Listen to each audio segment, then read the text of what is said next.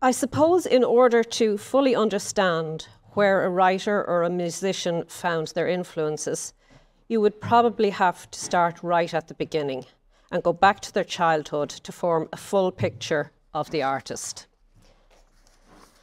And that is where I come in. I'm the person who can tell you about the young Philip Chevron and what moulded the person he became.